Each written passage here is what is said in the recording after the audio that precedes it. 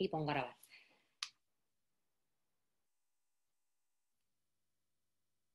Empiezo de nuevo, cuento toda la vida, mira, veo el chat, pero voy a dejarlo ahí un poco en, en stand-by. Os saludo a todos, os quedáis todos saludadísimos. Mónica desde Valencia, que es la última que de momento saludo, aunque os saludo a todos, vamos, os mando un abrazo y un, y un beso para todos, a los conocidos y no conocidos. Y bueno, empezamos. 19.35 para, bueno, pues para ni hacer a los que, buenas desde Estado, que no lo he dicho, y desde Panamá, madre mía, ya hemos dicho que, que parábamos y yo empiezo a desconcentrar y me, y me emociono. Que hay gente que ha, que ha, venido, bueno, pues o ha empezado a su hora, así que, pues por respeto también a los que han, que han, venido, que han venido pronto, se han conectado pronto, pues empezamos.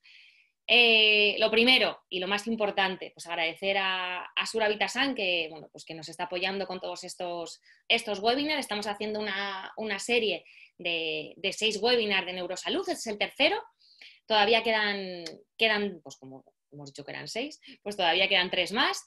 Dos más quedaré yo y otro más quedará mi compañero Iker, los que ya he visto que, hay bastante gente que, que se ha apuntado a, a, los otros seminarios, a los otros webinars pues eso, van a ir en, en, la misma línea, ir descubriendo pues trocitos o partes del, del, cerebro. Entonces, bueno, os iremos informando, el próximo será en octubre, luego hay otro en, en, noviembre y luego hay otro ya, si no recuerdo mal, en enero. Pero vamos, si estáis inscritos en este webinar, pues os iremos informando con, con las newsletters.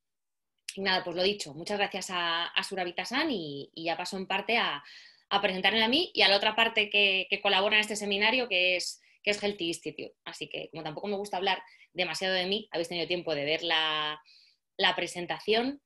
Eh, Sara, lo siento, pero se escuchaba bien, así que mira a ver si es un poco o, el tema del ordenador o, que tienes en silencio o que no has activado la parte del, eh, del micrófono y todo. Es lo que te pone Valeria, activar el audio del, del dispositivo, pero ya hemos hecho pruebas y, y parece ser que, que todo el mundo escucha bien.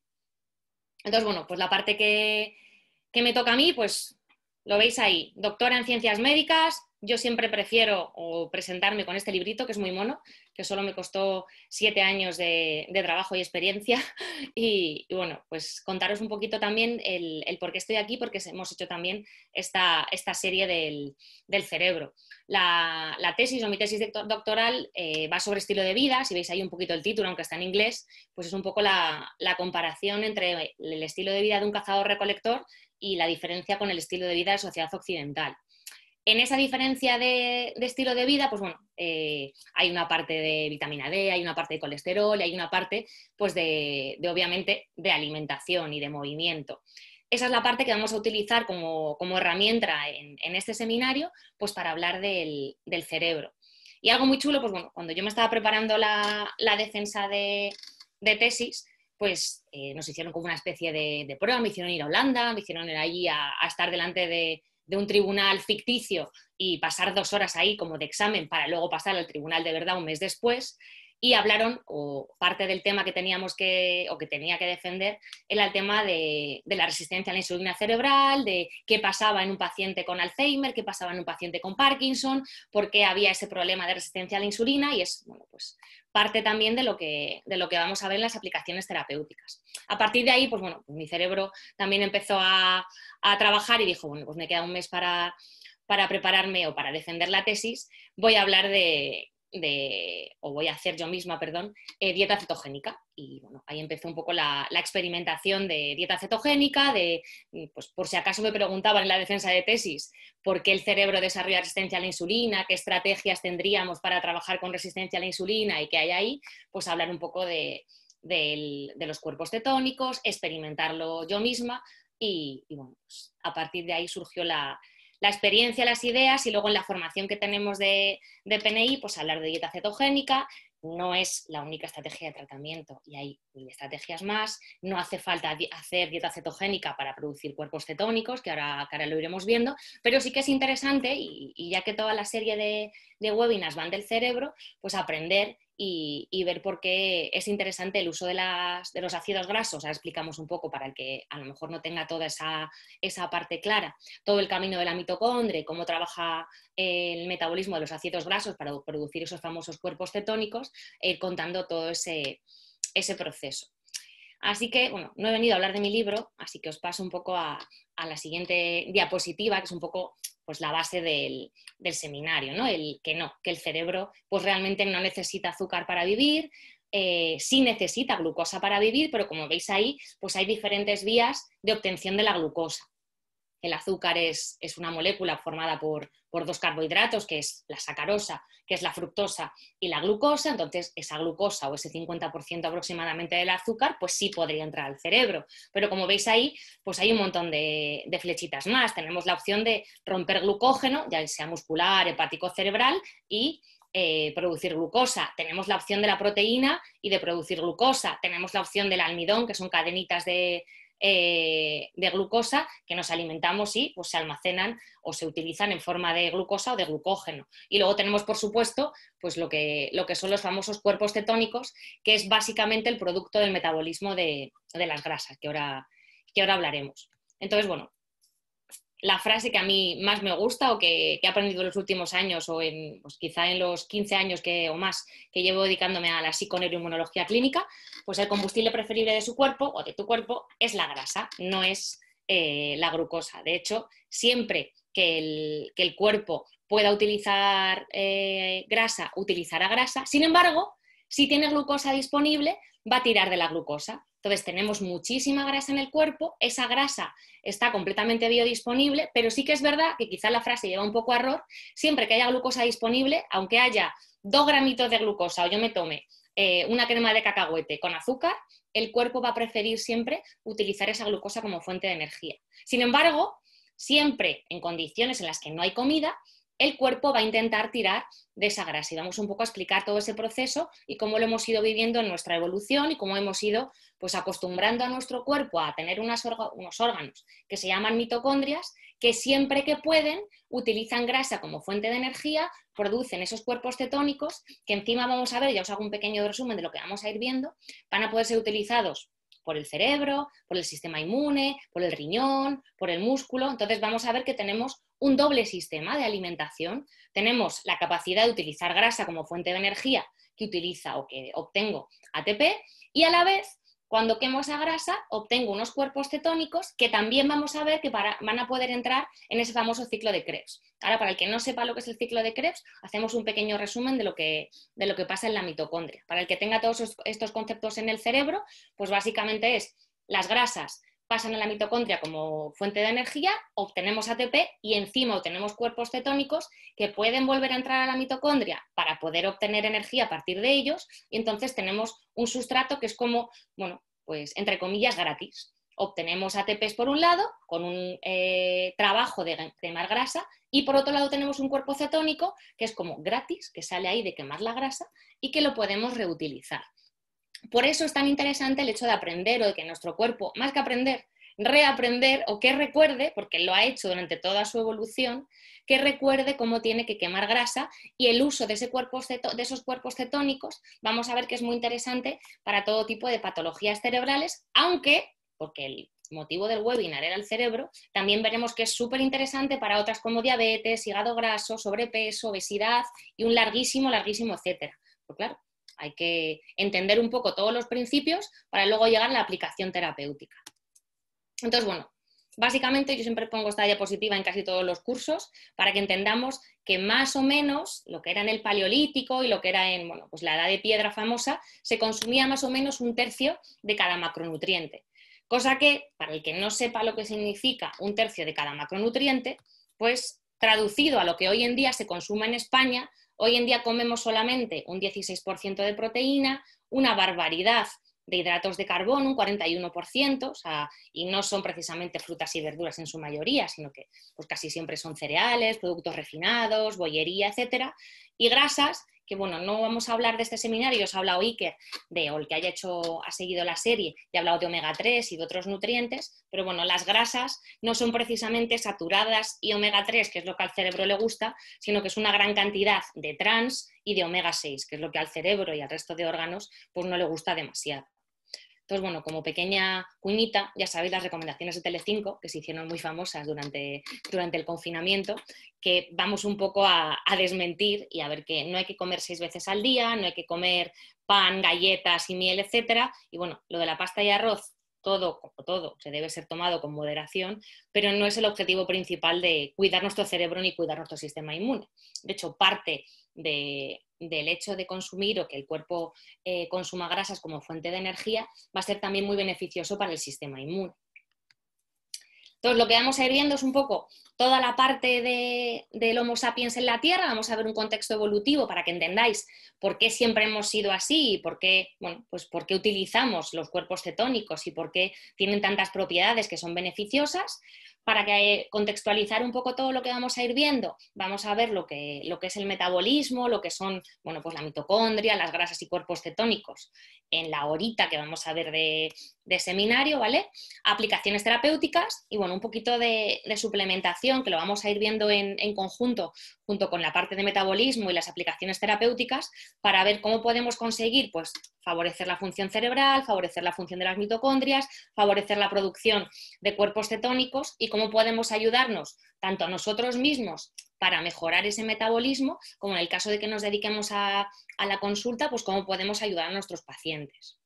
Entonces, bueno, básicamente, punto uno, contexto, el Homo sapiens en la, en la Tierra. Entonces, lo que vamos a ver es línea de vida de la Tierra, no vamos a ver cada punto, ¿vale? un momento de contexto. Entonces, izquierda, origen de la vida, ¿vale? Seguimos, seguimos, seguimos, seguimos, seguimos, aparecen, bueno, bacterias, hongos, más millones de años, aparecen los dinosaurios, seis millones de años, o hace seis millones de años aparece, pues, el chimpancé y el antecedente, bueno, el antecedente común, no del chimpancemiento, del, del chimpancé y del Homo sapiens, y bueno, el Plioceno, que estaba ahí nuestra amiga Lucy, estaba, bueno, aparece hace 2,5 millones de años el género Homo y empieza el Paleolítico. No os voy a aburrir con Homo hábiles, etcétera, etcétera, pero bueno, lo veis ahí un poquito, Homo erectus, Homo ergaster, etcétera, etcétera. 2,5 millones de años, ¿vale? El famoso Paleolítico, ¿vale? Homo sapiens hace 200.000 años, ¿vale? Lo que se llama, bueno, hubo un proceso que era la revolución cognitiva, que es cuando nos hicimos un pelín más inteligentes, o sea, fue el sapiens sapiens, o sea, sabéis que es lo típico. ¿Y por qué repite sapiens sapiens? Pues porque nos hicimos un poquito más inteligentes y son 70.000 años. Origen de la agricultura, 12.000, 10.000 años, según quien cuente la película, y ahí se acabó el paleolítico. Y ahí aparece la, la actualidad, ¿vale? A mí siempre me gusta poner esto así, ¿vale? Si nuestra historia en la Tierra fuera de 24 horas, ¿vale? Entendiendo que empezamos hace 2,5 millones de años y acabamos, o bueno, estamos ahora, hemos vivido, o la parte del paleolítico, bueno, desde 2,5 millones hasta la aparición de la agricultura, 23 horas y 54 minutos.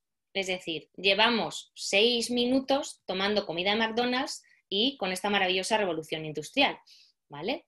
Eh, Ah, que están, estoy viendo cositas del chat, perdonadme. Vale. Pues si no puede entrar, mm, ya lo siento. No debería darle, darle error. Bueno, ya me encargo a Miguel ahí de Suravitasan que intente solucionar el, el problema. Entonces, lo que os quería o lo que os quiero hacer ver es que realmente todo lo que hay de no, no, es que llevamos 10.000 años viviendo así, no, no, es que llevamos 10.000 años comiendo cereales, no, no, es que llevamos 10.000 eh, años con la agricultura, es simplemente lo que nos ha permitido pues por un tema de hambrunas y por un tema simplemente pues de, tener más disponibilidad alimenticia, llegar hasta donde estamos. Pero no nos ha dado tiempo a adaptarnos genéticamente ni a producir ningún tipo de adaptación a nuestro genoma, ¿vale? Hemos adaptado alguna mutación de amilasa, alguna mutación de lactasa y cuatro cosas más, ¿vale? Pero no estamos adaptados genéticamente a ese ritmo de vida. ¿Por qué os cuento el rollo del paleolítico? ¿Vale? Porque hace 500.000, 300.000 años, ¿vale? Cuando, un poquito antes de la revolución cognitiva, cuando ya empezó el Homo sapiens sapiens, nuestro cerebro creció, ¿vale? ¿Por qué os cuento lo del cerebro? Es un seminario de cerebro, estamos hablando de cuidar nuestro cerebro. Entonces vamos a ver el porqué de todo este proceso y qué hay en nuestra evolución que nos hace ser Homo sapiens sapiens, por qué somos inteligentes y qué ha pasado en nuestro organismo. Pues para que veáis ahí, el cerebro de un, Homo sapiens sapiens, o nuestro cerebro actual, se lleva el 20% de la tasa metabólica basal. En un recién nacido se lleva el 74%, o sea, dos no, perdón, eh, tres cuartos del gasto energético de una persona, de un bebé. O sea, tres cuartos del gasto energético de un, de un, bebé se lo lleva el cerebro. Sin embargo, en el adulto, que no es poco, ¿vale? Es un quinto de todo el gasto energético. Bueno, tasa metabólica basal sería lo que gastamos si estuviéramos tumbados en la cama sin ningún tipo de ejercicio ni nada y estuviéramos sanos, ¿vale? ¿Eso qué quiere decir? Pues que fijaos, otros primates solo tienen, o sea, no llegan ni a la mitad, o sea, muchísimo menos gasto energético. Entonces, hay algo que nos diferencia y que nos hace ser humanos. Entonces, viendo un poco todo el proceso, ¿vale? Vemos nuestro cerebro, ¿vale? Vemos que nuestro cerebro es el que más tasa metabólica basal se, lleva y oficialmente necesitaría 125 gramos de glucosa al día. Vale, la respuesta simple sería, vale, pues como necesita 125 gramos de glucosa al día, yo me tomo, si me has dicho que la sacarosa tiene eh, la mitad de glucosa, pues 250 gramos de sacarosa, ¿no? Con 250 gramos de azúcar al día voy servido para el cerebro. Bueno, oficialmente sí, pero imaginaos un ambiente de cazador-recolector. O sea, si tiene que encontrar 250 gramos de azúcar al día, porque la glucosa sola en la naturaleza no existe, ¿vale? Entonces, si tiene que encontrar 250 gramos de azúcar al día, ya tienes que tomar verdura, ya tienes que tomarte frutas y las frutas no siempre se encuentran y no tienes, vamos, no era lo normal encontrar miel no había más fuentes de glucosa para el cerebro.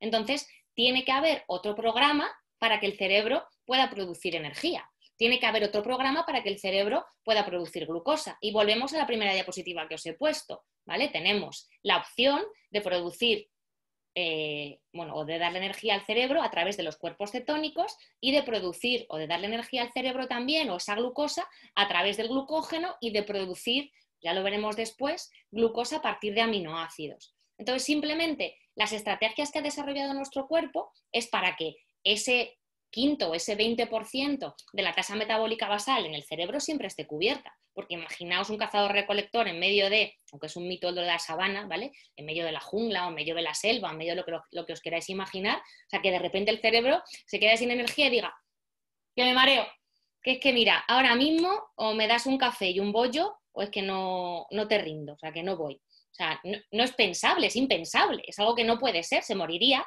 O sea, porque no que se moriría, le cogería un depredador, una hiena mismamente, y se lo cargaría. O le cogería otro cazador recolector y diría, mira, tú ahora mismo no me interesas porque tenemos competitividad a nivel de recursos.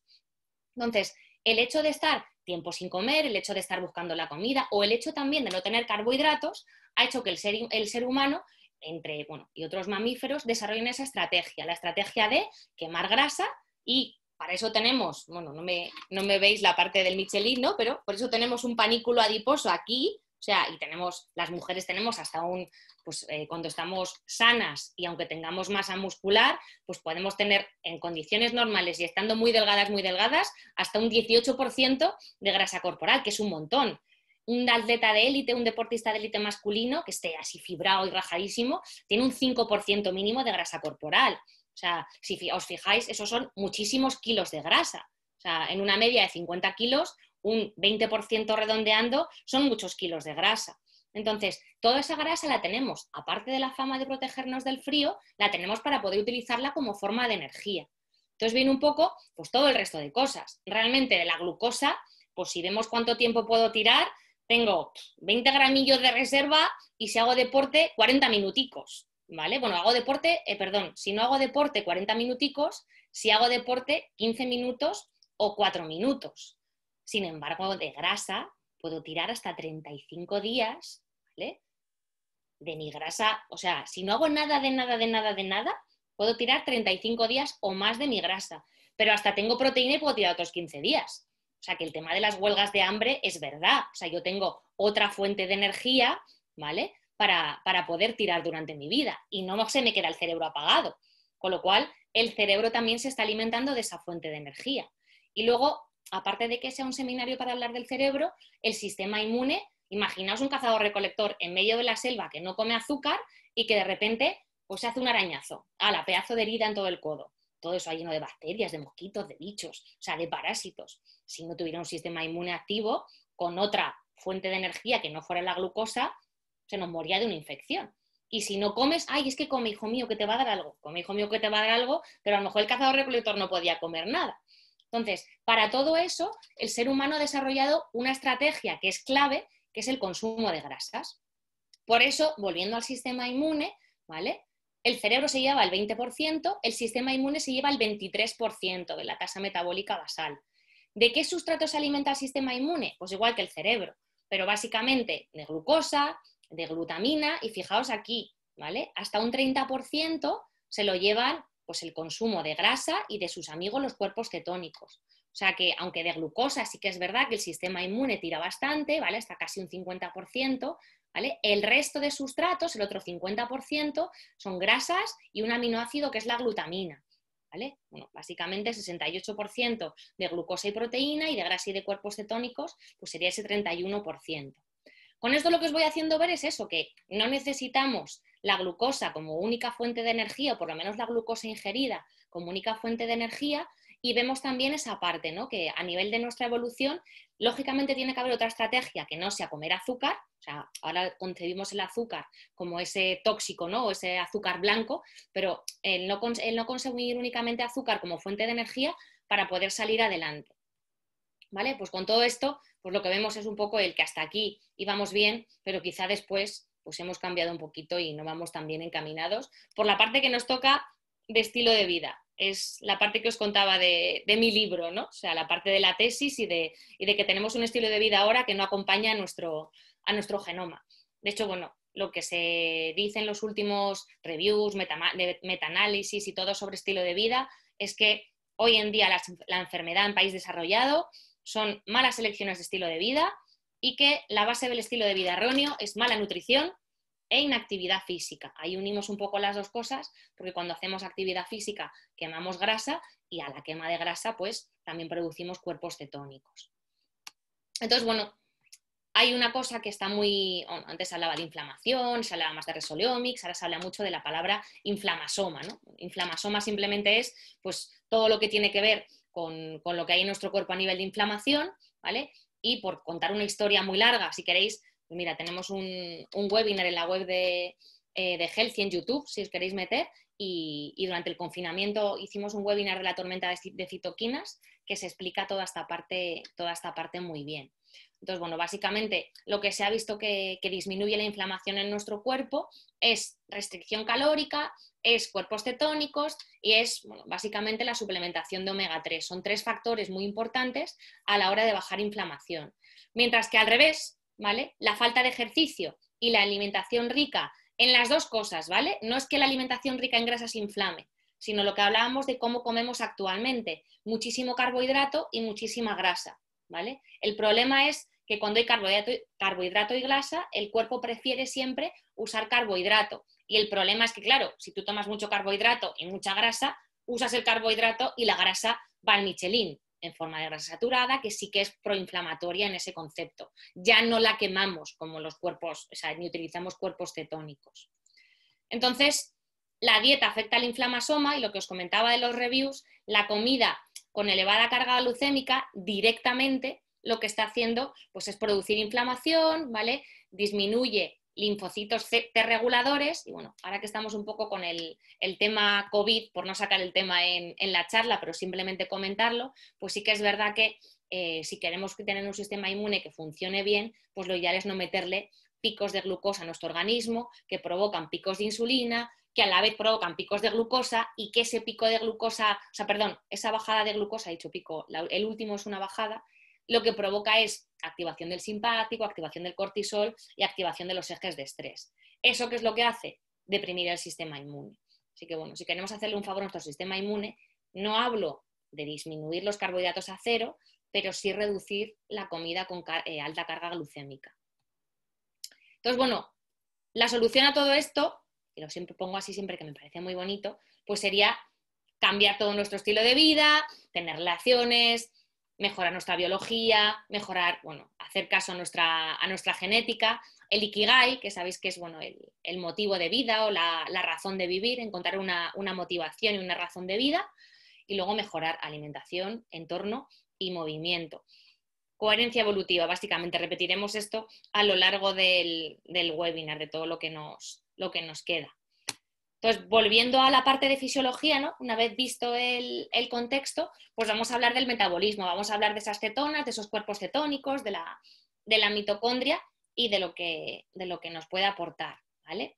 Entonces, no os voy a explicar todas las vías detalladas ni todas las fases del, ciclo de Krebs, pero sabéis que hay una mitocondria, sabéis que la mitocondria puede utilizar los tres, bueno, o en la célula puede utilizar los tres sustratos y el que básicamente los utiliza es la mitocondria. Aunque fuera de la mitocondria, yo puedo utilizar la glucosa, que es la famosa glucolisis. La glucolisis es muy rápida, ¿vale? Hay aeróbica y anaeróbica. La anaeróbica es eh, bastante más rápida, que es la que se produce fuera, y pues suele producir dos ATPs. Luego ya dentro de la mitocondria tenemos ese famoso ciclo de, de Krebs y esa famosa cadena de electrones, que ahí metabolizan pues, a nuestras amigas la glucosa, nuestras amigas las grasas o los ácidos grasos y a nuestros amigos los aminoácidos. Además, de luego veremos de los propios cuerpos cetónicos, que son el producto del consumo de la grasa. Entonces, básicamente, hidratos de carbono, glucosa, si entra, bueno, va a entrar dentro de la célula gracias a la insulina, la glucosa se transforma en piruvato y podemos tener la anaeróbica con dos ATPs, que es fuera de la mitocondria, pero dentro de la célula, o aeróbica, dentro de la mitocondria, esa cadena de electrones, ese ciclo de Krebs, bueno, por orden, ciclo de Krebs y cadena de electrones. 36 ATPs. Dices, bueno, pues dos ATPs es poquito, ¿vale? 36 ATPs es poquito, ¿vale? Pero bueno, son ATPs, ¿vale?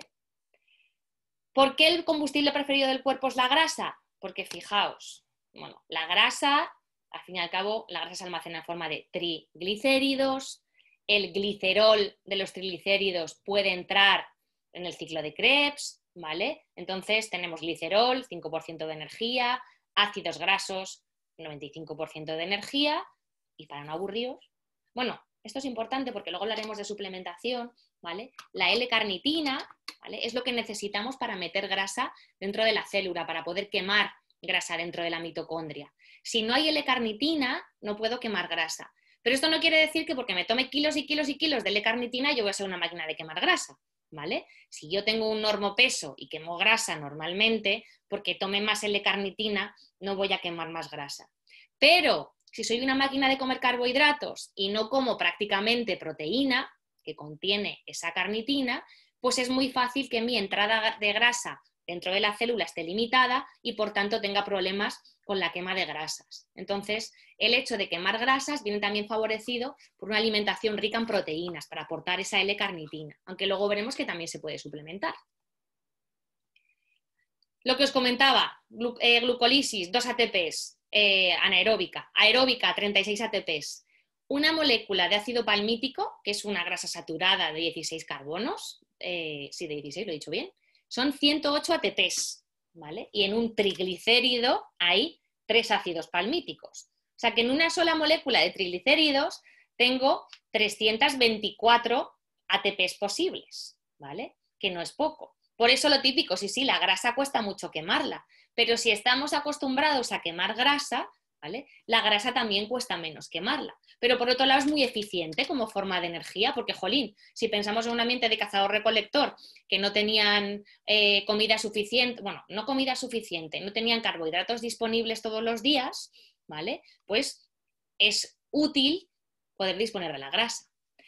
Preguntáis ahí, ¿los vegetarianos cómo hacen para tener L-carnitina? ¿Vale? Pues los vegetarianos y una de las cosas que suele fallar es que no tienen L-carnitina, porque la L-carnitina eh, está en los productos de origen animal y entonces tienen problemas para quemar grasa.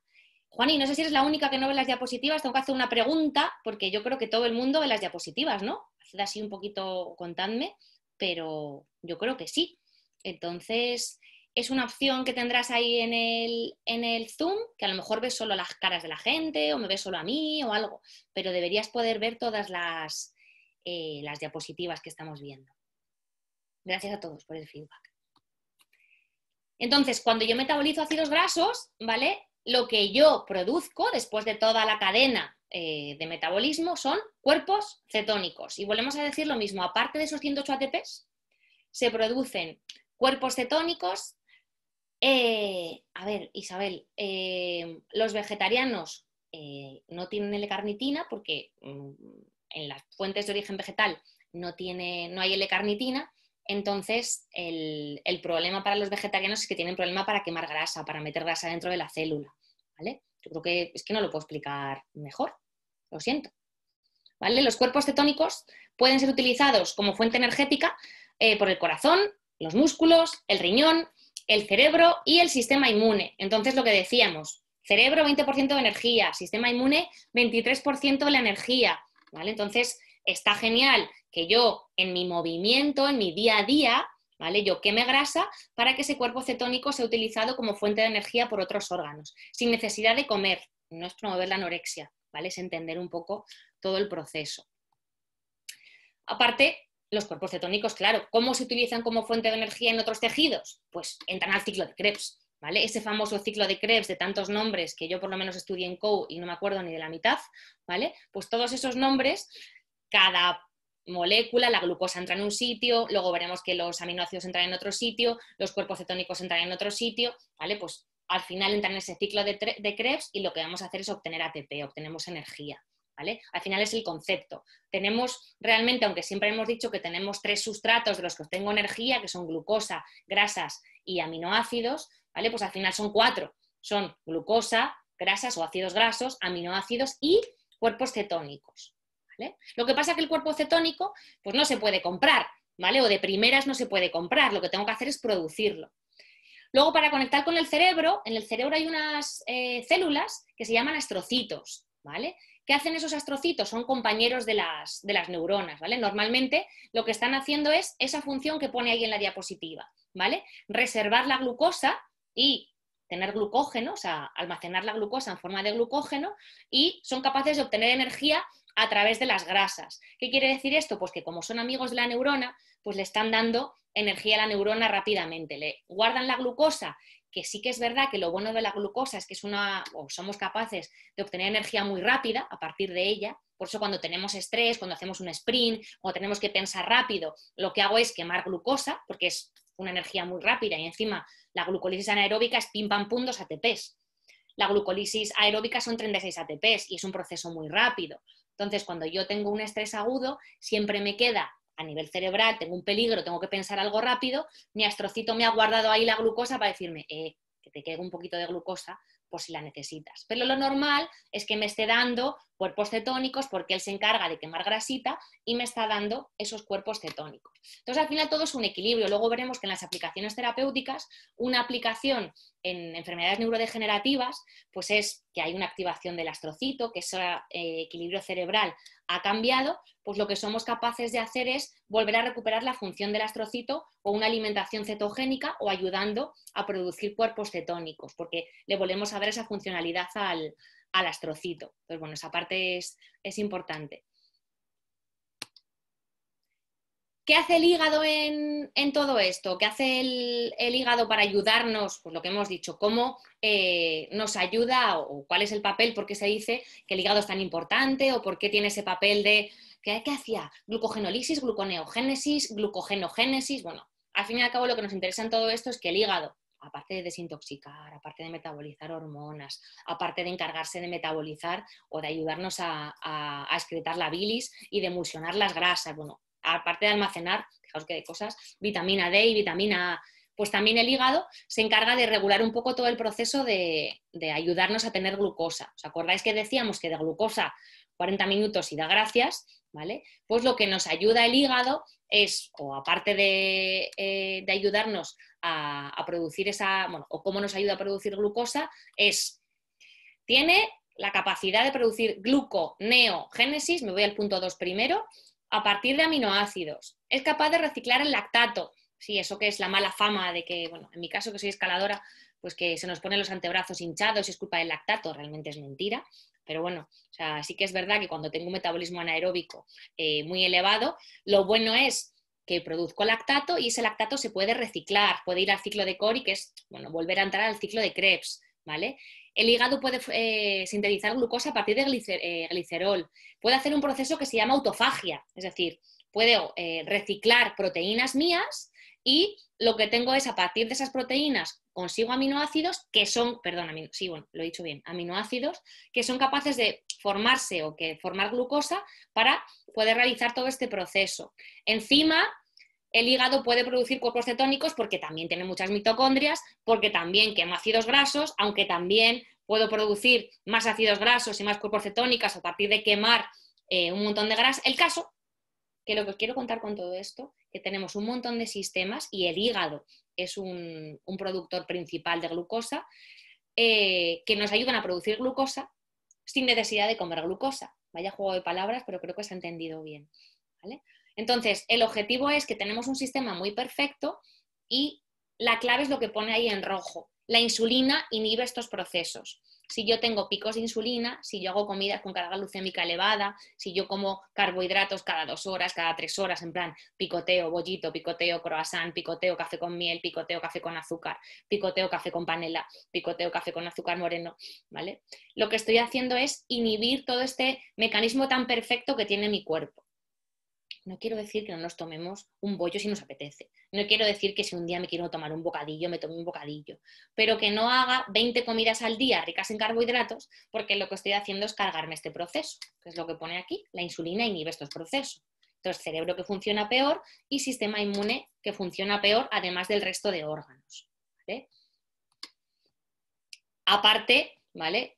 Los aminoácidos también son capaces de producir cuerpos cetónicos y de entrar al ciclo de Krebs. Y bueno, pues parece ser que si comemos alimentos ricos en lisina y ricos en leucina, ¿vale? La lisina pues también es de las que solo está o suele estar solo en productos de origen animal, huevos, carne, pescado, marisco, caldo de huesos, proteína de suero de leche, lácteos, semillas de chía, frutos secos, pues podemos ayudar a producir más aminoácidos, podemos ayudar a producir más glucosa a partir de esos aminoácidos y bueno, pues nuestro sistema de engranaje perfecto va funcionando mucho mejor.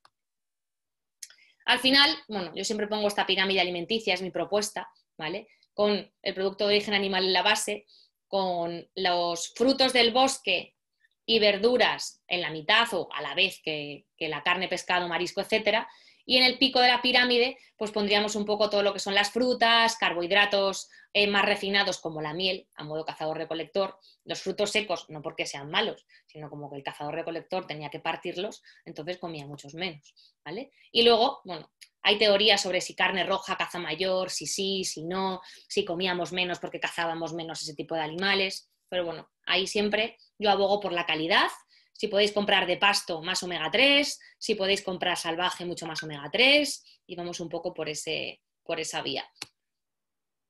Al final, básicamente, lo que se, no lo que se pretende, sino lo que estamos hablando es de una dieta cetogénica, ¿vale? Eso no quiere decir que tengamos que hacer exactamente lo que pone ahí, ¿vale? No tiene que ser un 5% de carbohidratos, un 20% de proteínas y un 75% de grasas, pero sí que son las bases de la dieta cetogénica y sí que son las bases de lo que vamos a ver en las aplicaciones prácticas, ¿vale? Esto lo voy pasando un poquito más deprisa porque es un poco toda la aplicabilidad y, y creo que se entiende bastante bien, ¿vale? Entonces, el combustible principal son cuerpos cetónicos, ¿vale? Eh, hay que ingerir muy poquitos carbohidratos, o sea, menos de 50 gramos eh, netos al día. Cantidades moderadas de proteínas, aunque bueno, sería discutible porque el exceso de proteínas también puede convertirse en azúcar, pero bueno, sí que es verdad que es mejor tomar más proteína que más azúcar.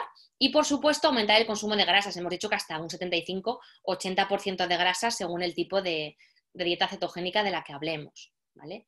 Como dato, ¿vale? La grasa saturada es súper buena, la leche materna es rica en grasa saturada, ¿vale? La glándula mamaria tiene una producción súper grande de saturadas porque son, volviendo al cerebro, súper, mega, giga necesarias para el cerebro, ¿vale? Nuestro cerebro está formado por un 40% de saturadas. O sea que el que diga que no quiere comer saturadas se está haciendo menos inteligente. Eso no quiere decir que no haya que comer omega 3, ¿vale? Pero también hay que comer saturadas.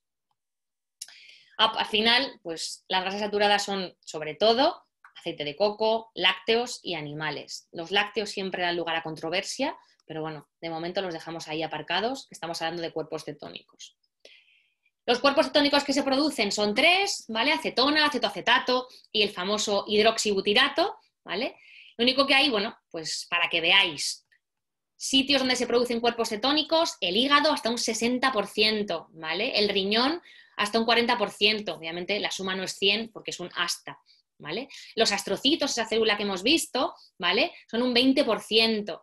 El intestino, un 20%. Luego te contesto a eso, Isabel, ¿qué has puesto ahí?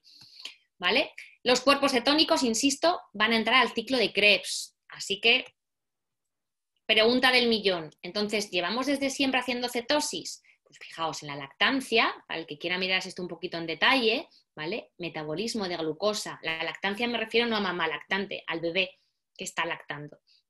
Metabolismo de glucosa muy bajo, ¿vale? Y hay mucha cantidad de beta hidroxibutirato, es decir, se producen muchísimos cuerpos cetónicos y quiero decir que un bebé lactante está en cetosis, ¿vale? Está produciendo o está eh, produciendo un montón de quema de grasas, está produciendo un montón de cuerpos cetónicos, pero acordaos, el webinar es cuida tu cerebro. El lactante o el bebé en desarrollo recién nacido tenía un 75% de su, por ciento de su tasa metabólica basal era, iba para el cerebro. O sea, no se va a hinchar a glucosa, ¿vale? O se hincha glucosa, pero de otra manera. La leche materna es dulce, pero la leche materna lo que tiene es muchísima saturada. Entonces, el bebé lactante lo que está haciendo es un metabolismo de grasa y producción de cuerpos cetónicos bestial para poder crecer, para poder desarrollar su cerebro, para poder desarrollar su cuerpo. Y ahí tenemos un poco la base del, del tratamiento en general o la base de nuestra, de nuestra fisiología.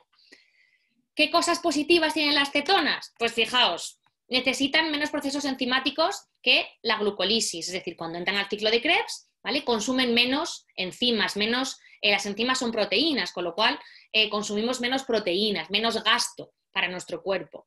Reducen el par NAD+, NADH, es decir, nos ayudan bueno, pues a, reciclar ese, ese, NADH que había entrado en la cadena de fosforilación oxidativa, la segunda parte del ciclo de Krebs. Disminuyen la producción de radicales libres porque en su proceso de metabolismo ¿vale? No necesitan eh, apenas antioxidantes, entonces no hay casi radicales libres. Por supuesto, tengo más ATP, mejoran una sustancia que es mejorar la función de la mitocondria, aumentan la actividad antioxidante de la mitocondria, que es esa famosa glutatión peroxidasa, y bueno, es no se puede tener todo. O sea, si estás quemando cuerpos cetónicos, no va a entrar el piruvato, con lo cual ahorras piruvato para en otro momento que necesites ese piruvato. Con lo cual, el hecho de tener un metabolismo de las cetonas, o de que haya, perdón, un metabolismo de ácidos grasos y de que haya cetonas, es todo súper beneficioso para nuestro cuerpo. Pásate, sésamo. Aparte, cuerpos cetónicos, volviendo al cerebro, aumentan flujo sanguíneo cerebral, ¿vale? Si comemos más eh, grasas y menos cuerpos, o sea, menos cuerpos cetónicos, y menos glucosa, aumenta el consumo de grasas y aumenta el flujo sanguíneo cerebral, ¿vale? El que haya experimentado con ayunos o con dieta cetogénica, pues luego lo hablaremos. Eh, tienes más energía mental, a veces tienes incluso un estado de euforia. Volviendo a mi caso en el tema del doctorado, pues la verdad es que la capacidad de concentración era bestial, Entonces, es un tema que, bueno, mejora muchísimo el rendimiento cerebral. Luego veremos las aplicaciones terapéuticas. Aparte, ¿no? Pues los cuerpos cetónicos, encima, es como decir, jo, pero si no como carbohidratos tendré hambre pues sí que es verdad que ahora hablaremos que hay un periodo de adaptación, pero sobre todo el hidroxibutirato no tiene apenas efecto sobre la leptina, entonces no produce hambre. Es decir, si yo estoy produciendo la quema de grasas y produzco cuerpos cetónicos, ¿vale? Al final lo que estoy haciendo es también regular mi sensación de hambre. Entonces, entre comillas, soy un poco más dueño de mi día a día de comida. No soy, como dicen algunos eh, bloggers o influencers, no soy eh, un esclavo de la comida, que es algo importante. Eso no quiere decir promover la anorexia. Los cuerpos cetónicos aumentan la autofagia. No sé si sabéis que fue el ganador del premio Nobel de medicina hace dos, tres años, ¿vale? Descubrieron pues, ese mecanismo que ayuda a, reciclar células en nuestro cuerpo y que ahora está cada vez más en, eh, en estudio para el cáncer, ¿vale? Entonces, la restricción calórica y con ella el consumo de grasas y con ella los cuerpos cetónicos hace que la célula maligna pues, no tenga capacidad de supervivencia, mientras que la célula sana, por ese uso de cuerpos cetónicos, sistema inmune, etcétera, pues aumenta su producción de energía, digamos que aumenta la, la supervivencia. ¿vale? Elsa, lo que has comentado ahí, tienes toda la razón del mundo, pero es lo que hay. Y yo, Andrea, cetoacidosis es patológica, completamente de acuerdo, pero no hablamos de cetoacidosis, hablamos de cetosis, que es diferente, ahora hablamos de ello, ¿vale? Entonces, beneficios eh, de los cuerpos cetónicos, ¿vale? Ahí está en inglés, pero, espérate, he hecho una, que iba a decir, iba un poco ahí justa de tiempo, en las aplicaciones terapéuticas, uniendo con la parte de los cuerpos cetónicos y cuáles son los beneficios de los cuerpos cetónicos, ¿vale? Beneficios de estar en cetosis o de aumentar la quema de grasas, ¿vale? El aumento de producción de cetonas aumenta saciedad, aumenta autofagia, aumenta sensibilidad a la insulina, mejora flujo sanguíneo cerebral y por tanto mejora función cerebral, lógico, mejora función cardíaca, mejora función antioxidante, mejora función autoinmune y, o perdón, autoinmune e inmune y un largo etcétera. El tema cuál es, que es lo que vamos a hablar ahora, todo lleva un proceso, ¿vale? Hay gente que come 10 veces al día, hay gente que tiene muchísima resistencia a la insulina, a esa gente no le podemos poner de repente a quítate todos los carbohidratos refinados, quítate todos los cereales y haz una dieta cetogénica. Todo tiene que ser progresivo y hay un periodo de adaptación. ¿Vale? Entonces, el que no se dedique eh, a la consulta y lo quiera experimentar con uno mismo, que lo haga progresivamente. Y el que no lo haya hecho nunca eh, con, uno, mismo y lo quiera hacer en consulta, también le sugeriría que lo experimentase pues, eh, sobre uno mismo para saber los cambios que hay que hacer y lo que se puede experimentar. Pero sí que es verdad que el objetivo o la condición natural del ser humano es estar horas sin comer y quemar grasa. Eso no quiere decir, ¿vale? Que todo el mundo tenga que hacer ayunos, que todo el mundo tenga que hacer una comida al día y que todo el mundo tenga que estar, pues eso, comiendo solo eh, una vez cada 36 horas o hacer ayunos de 16-8. Pero sí que es verdad que espaciar las comidas, hacer dos, tres comidas al día o cuatro comidas al día un día, otro día tres, otro día dos y otro día cinco, ganamos esa flexibilidad metabólica y ganamos esa, en esa producción de cetonas. Al final, si hacemos bien todo este proceso de dieta cetogénica, ¿vale? O que no solamente es dieta cetogénica, sino espaciar frecuencia de comidas, comer más grasas y comer menos carbohidratos, esto sería todo lo positivo a nivel subjetivo y objetivo, ¿vale? Disminución del hambre, favorecer el ayuno intermitente, el que lo quiera practicar, porque al final una cosa suele ir con otra, aumento de niveles de energía, ¿vale? Claridad mental, incluso sensación de euforia, y el cuerpo adquiere una mayor capacidad, por tanto, de alimentarse con sus reservas de grasa, ¿vale? Eh, todas las, respuestas, preguntas que hay de cetoacidosis, no, no, no y no, y no acidifica el cuerpo, ¿vale? Lo único que sí que es verdad que hay efectos secundarios, eh, iniciales, ¿vale? Sabemos que el cuerpo cetónico se excreta por la orina, os lo voy a pasar esto rapidito. Los cuerpos cetónicos, eh, bueno, hay unas tiras de orina, lo voy a pasar mejor aquí. Se miden en orina, sangre y aliento, ¿vale? Entonces, al principio es normal la gente que, hace dieta cetogénica de tener boca seca, aumento de sed, ¿vale? Entonces, para ello se suele recomendar tomar caldo de huesos, ¿vale? O tomar más minerales, tomar más sal o tomar magnesio. Lo normal también es orinar más y algunos tienen el famoso aliento ceto, ¿vale? Huele un poco pues como entre dulce, afrutado o, quita esmalte, ¿vale? Los cuerpos cetónicos eh, se utilizan, no se excretan, con lo cual si nos huele el aliento o si eh, nos huele pues, el sudor o a, ese quita esmalte, es que todavía no somos 100% eficientes. No pasa nada, es un proceso. ¿vale? Pero el que esté iniciándose en dieta cetogénica, pues eso suele ser algo que, puede, que puede suceder. Lo normal es cuando uno ya está en cetosis o habitualmente en cetosis o entra fácil en cetosis, pues la parte del, olor y del, aliento ya no esté. ¿vale? Porque hay varias formas de medir cuerpos cetónicos. Ya os adelanto que la única válida, por así decirlo, es la medición en sangre. ¿vale? El resto, eh, bueno, son momentáneas, se mide acetona, la acetona es lo que se excreta por la orina que no se utiliza, pero luego realmente toda se utiliza, con lo cual la orina solo sería, o la medición en orina, sería fiable durante una semana, 15 días, porque luego podríamos dejar de tener acetona en orina y significaría que sí que lo utilizó bien. Entonces, lo normal es medir el beta hidroxibutirato en sangre, y ahí están un poco los valores, ¿vale? Todo lo verde es que ya estamos en cetosis. Entonces, pues de 0,5 a 3, lo ideal es eso, lo óptimo es estar entre 1,5 y 3, pues serían los valores óptimos de que tenemos un buen metabolismo de grasas, ¿vale? Lo otro es lo que comentabais muchos de cetoacidosis, ¿vale? Si nos pasamos por aquí, es que ya no es un metabolismo eficiente, ya puede haber un problema de diabetes, ya es la famosa cetoacidosis del diabético que yo he tratado muchos diabéticos de tipo 1 y tipo 2 y no me han llegado nunca, vamos, en ningún caso a ese, a ese punto, pero bueno, está bien comentarlo y saber que la cetoacidosis existe. Pero sí que es verdad que hay mucho miedo a ella y con, con todo este proceso pues no vamos a llegar a cetoacidosis, ¿vale? Nos cuenta María Cristina su experiencia y está guay, pero ahora mismo mm, voy mal para contestar, bueno, si te lo contesto rápido, ¿cuánto tiempo se puede mantener un estado de cetosis? Pues si queréis toda la vida, otra cosa es que tengáis vida social y no queráis mantenerlo, ¿vale?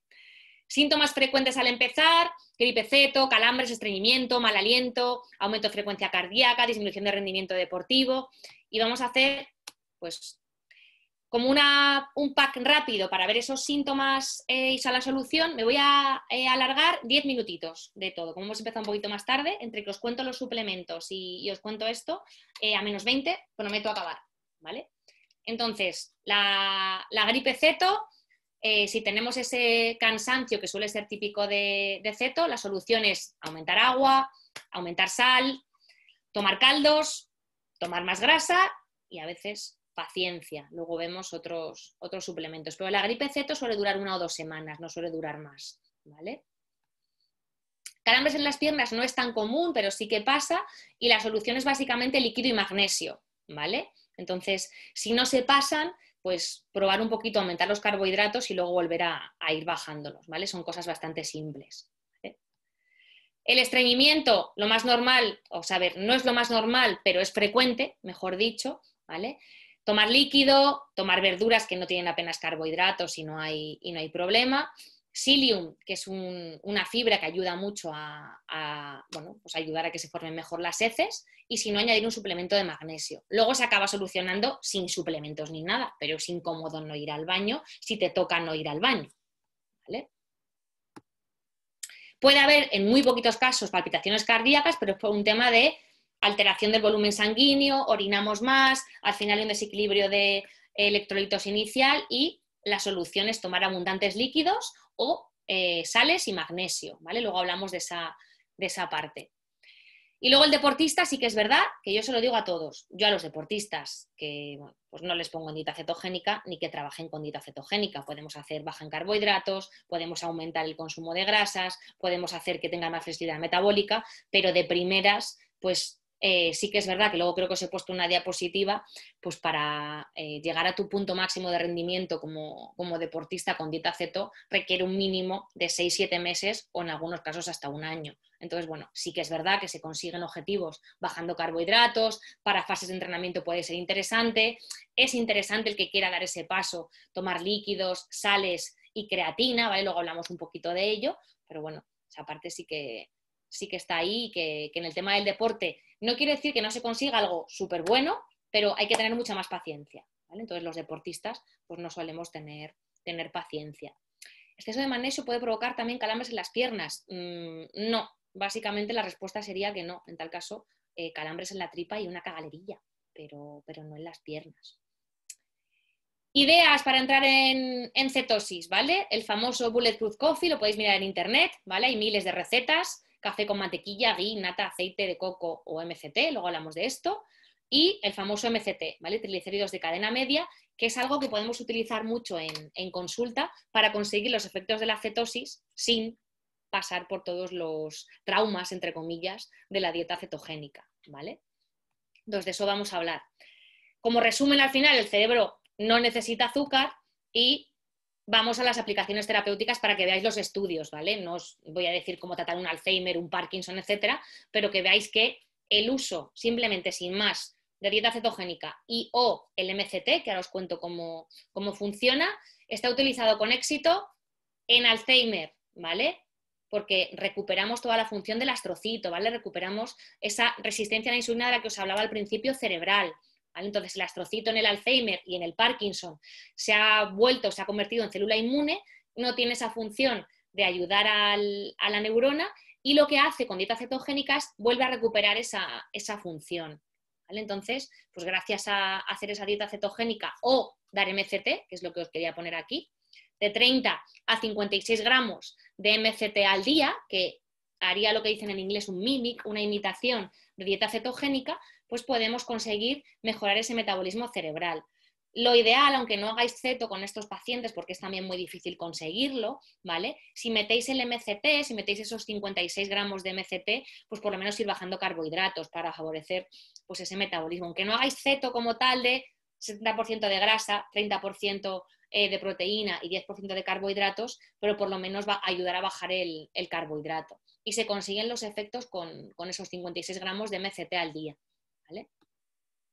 Al final, bueno, diferentes estudios con lo mismo, ¿vale? Mejora todo el score de Alzheimer, pero cuando dejan la dieta o cuando dejan el MCT, vuelven a tener otra vez los, bueno, pues, al nivel al que estaban. Entonces tiene que ser algo eh, permanente. Lo mismo con el Parkinson, ¿vale? En 28 días, fijaos, con dieta cetogénica, también vale meter el MCT, mejora todo el score de Parkinson hasta pues, tener una bajada de un 21% en este paciente o hasta de un 81% en, en este otro, ¿vale? Y por supuesto, pérdida de peso más de cerebro, ¿vale? Los triglicéridos de cadena media en depresión o la dieta cetogénica. En la depresión pasa exactamente lo mismo con el Alzheimer y el Parkinson. El astrocito también ha perdido su función y hay zonas del cerebro que se quedan sin energía, como por ejemplo el hipocampo, que se hace más chiquitito. Entonces, el MCT, la recuperación pues de, ayudar a, a, quemar grasa y de producir cuerpos cetónicos en el cerebro, mejora toda esa conducta de enfermo, mejora el metabolismo cerebral y todas las funciones del cerebro también valdría para nosotros. Si consideramos que todos los de esta sala virtual estamos sanos, también podemos tomar MCT, ¿vale? Para ayudar a quemar grasa y producir cuerpos cetónicos. Es cierto que son calorías, o sea que, bueno, hay muchas eh, teorías sobre calorías in, calorías out, pero está claro que si nos tomamos 56 gramos de MCTs en nuestra alimentación, ¿vale? Es un gasto energético extra o es un aporte energético extra, perdón. Entonces, bueno, también hay que hacer más deporte. Eh, no veo aquí, a epilepsia, súper estudiado en, eh, con dieta cetogénica, ¿vale? Tanto en niños como en adultos. Además, hay un estudio súper chulo en el que, bueno, reducción del 50 al 100%, ¿vale? De convulsiones en tres meses y en ocho meses un 90% de reducción. Entonces, bueno, es cierto que hay que mantenerlo, pero bueno, si no se puede mantener la dieta cetogénica, tenemos ahí la opción del el MCT, ¿vale? Entonces, es muy importante. Las migrañas, igual, ¿vale? Todo, por eso he puesto toda la parte de cerebro, o sea, Alzheimer, Parkinson, migrañas, epilepsia, eh, depresión. Y luego otros, que bueno, como el seminario era de cerebro, pero súper estudiado en obesidad, hay más de 300 estudios eh, con dieta baja en carbohidratos y o cetogénica en obesidad y sobrepeso, hígado graso súper estudiado, ¿vale? Ovario poliquístico, diabetes tipo 1, tipo 2, contestando lo que dice Vicenta, ¿no? Pues también en esclerosis múltiple y autoinmunes, en enfermedad cardiovascular, para acné, es algo súper simple, y bueno, muy estudiado, aunque en diferentes tipos de cáncer, pues igual, en, cánceres a nivel cerebral, astrocitomas, glioblastomas, súper estudiados. Y luego colon irritable y todo el elenco de eh, Crohn, colitis ulcerosa, súper efectivo y súper interesante. ¿vale? Entonces, hay una herramienta importante porque es ganar flexibilidad metabólica, tener otra fuente de energía, obviamente para el cerebro, pero también para el sistema inmune. Entonces, bueno, darle una vuelta a todo lo que estamos viendo en el seminario y, y tenerlo presente.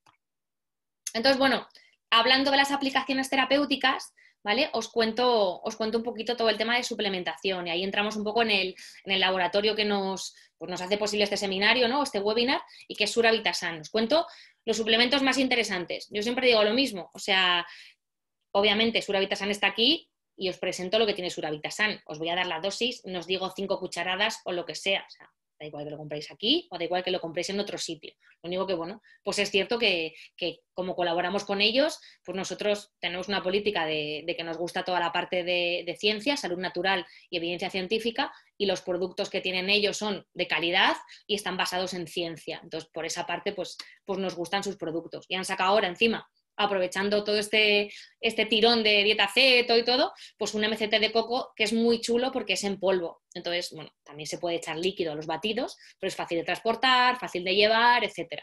Entonces ahí tenéis un poco, pues lo que os pongo, dosis, pues que el que quiera probar a ver si le ayuda a metabolismo cerebral o a trabajar mejor a nivel energético, pues probar con 5 gramitos, 10 gramitos, o ya lo que hemos dicho, dieta ceto o imitar una dieta ceto, si no queremos aumentar el consumo de grasas, pues 55 gramos al día. Pero podemos hacer un mix, ¿vale? Aumentar consumo de grasas y meter, por ejemplo, 20 gramos de MCT, ¿vale? Que es una, opción.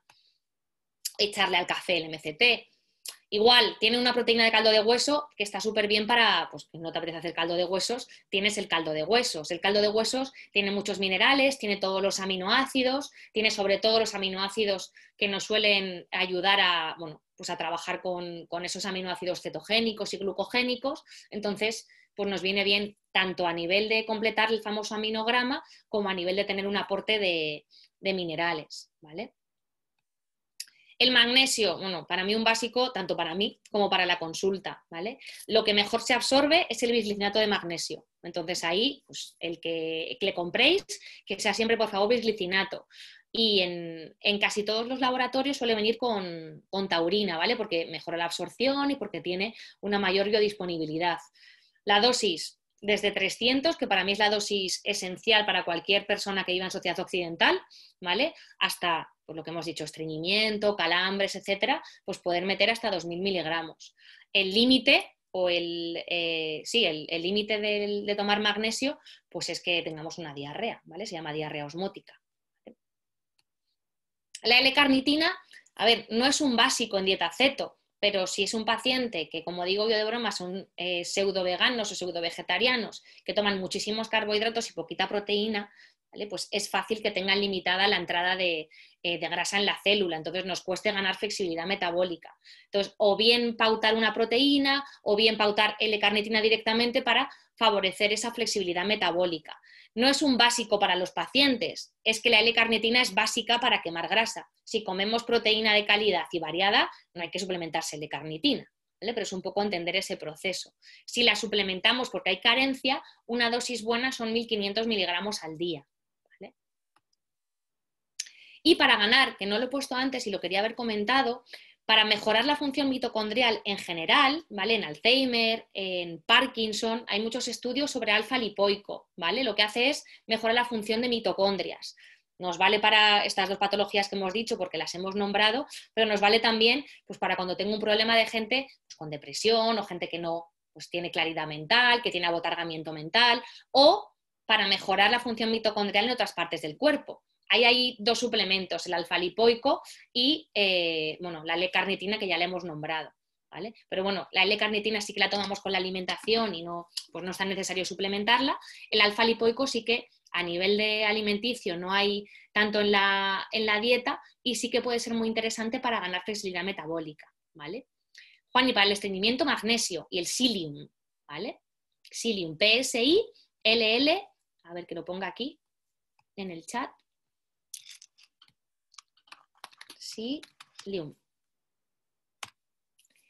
en problemas de filtrado glomerular, sin problema con carnitina. De hecho, cuando hay problemas de filtrado glomerular, pues hay un problema de que se excreta más proteína y más aminoácidos. Entonces, eh, lo ideal es, pues aunque sea contradictorio con muchas eh, doctrinas o muchas pautas eh, de medicina, hay que suplementar con proteína o tomar más cantidad de proteína de, calidad en enfermos renales.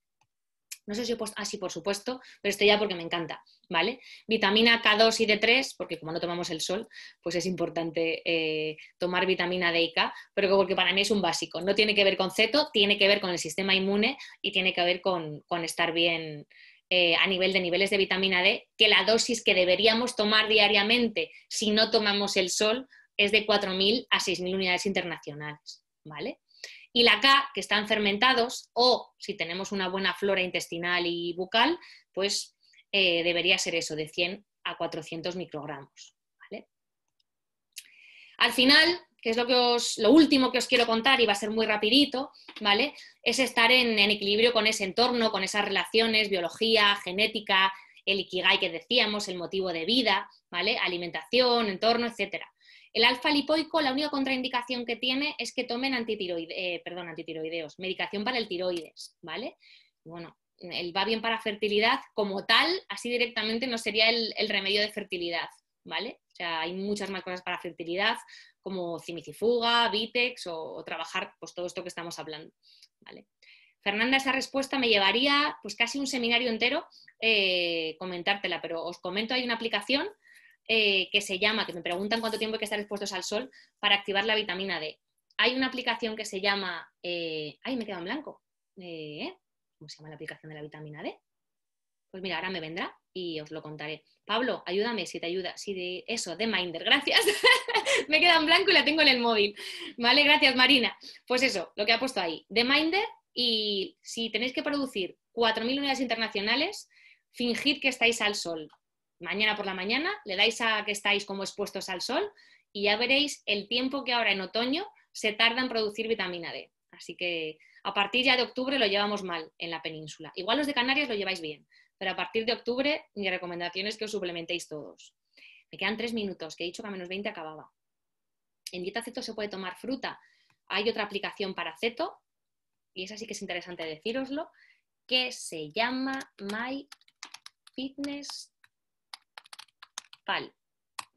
Ahí metéis todos los alimentos que habéis comido en un día y vais a ver si os salen los 50 gramos de carbohidratos, si no. Antes de hacer ceto, mirad blogs, mirad cositas de ceto y meted toda la alimentación en, en MyFitnessPal durante una semanita y así sabréis lo que conlleva hacer ceto. Es para que experimentéis, porque si no, no vais a saber si es ceto o no ceto. ¿A qué me dedico y también por qué estoy aquí? ¿Por qué os he contado todo esto? Pues a la psico, neuro, endocrino, inmunología clínica. Me toca hablaros un poquito de, de mi trabajo. ¿vale? Así que eh, tenemos un curso de formación, que es, o una empresa de formación, que es Penny Clínica, y lo que nos dedicamos mi compañero y yo, pues es, aunque nos queda muy bonita la frase, ayudar a terapeutas que quieren mejorar en, herramientas de trabajo, pues a conseguir ser más eficaces y a tener más herramientas de trabajo. ¿vale? Ahora contesto a la pregunta de la, vitamina D. Si le queréis echar un vistazo, aparte de que veáis la formación y todo, ahora os pongo toda la parte de, de redes ¿vale? Para que pues, ponemos artículos de interés y ponemos cosas chulas, porque os, bueno, creo que son interesantes y hablamos un poco de todo, de todo este tema, ¿vale?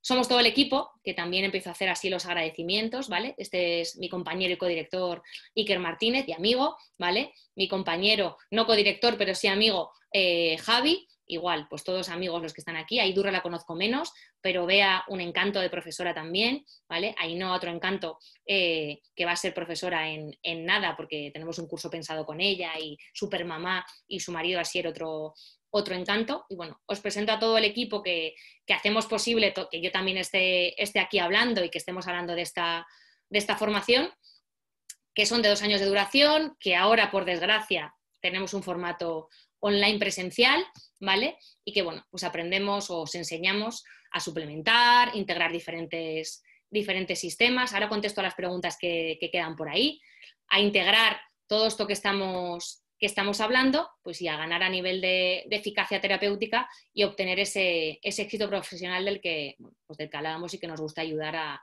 los pacientes, uy, a los pacientes, a los alumnos y ayudar a los pacientes a que, pues a que mejoren, ¿vale?